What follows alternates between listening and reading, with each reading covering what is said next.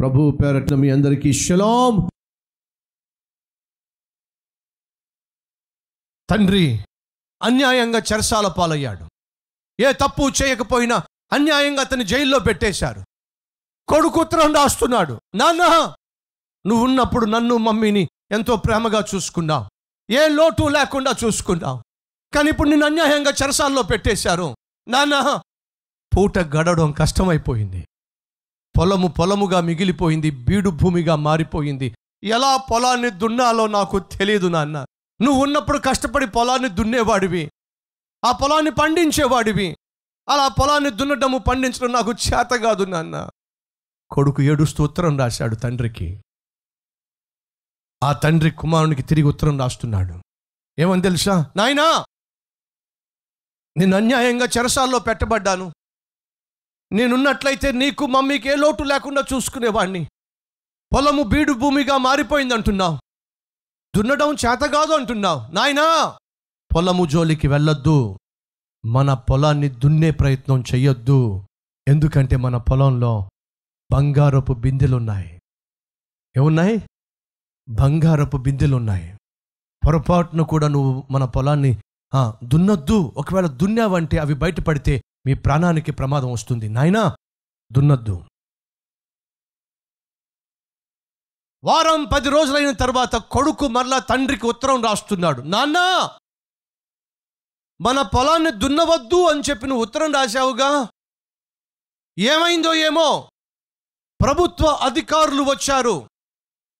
Police వాళ్ళు వచ్చారు. Revenue department వాళ్ళు వచ్చారు.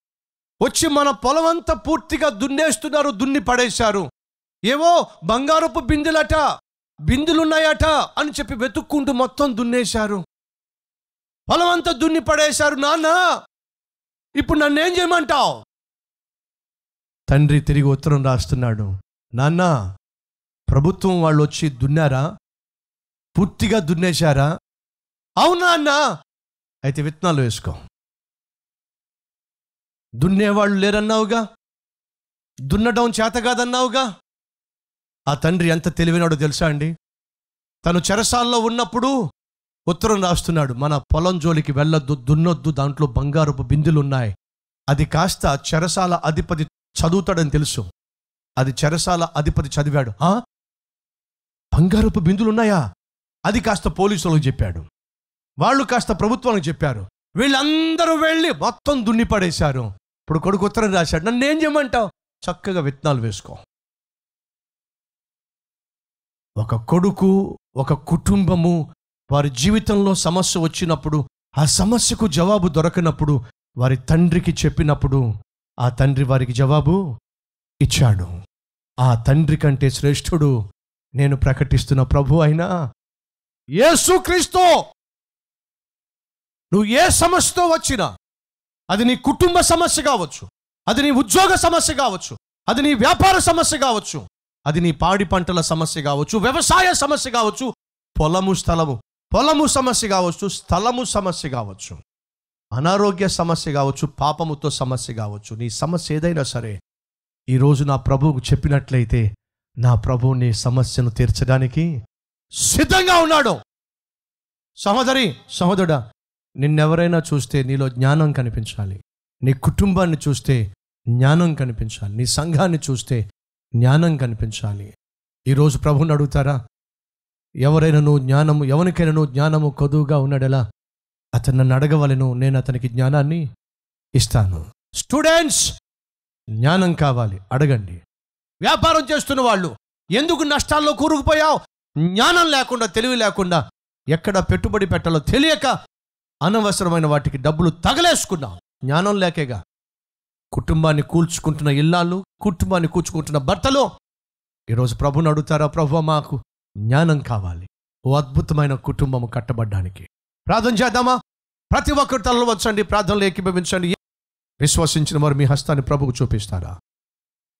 మహాపరిశుద్ధుడు అయిన ప్రేమ కలిగిన తండ్రి బిడ్డలమైన మేము నీ సన్నిధికి ఏ ప్రశ్నతో వచ్చినా జవాబు లేని సమస్య అయినా వ్యాధి అయినా బాధ అయినా కుటుంబ సమస్య అయినా నాయన నువ్వు తీర్చుటకు చాలిన వాడివి నీకు స్తోత్రాలు చెల్లిస్తున్నాను.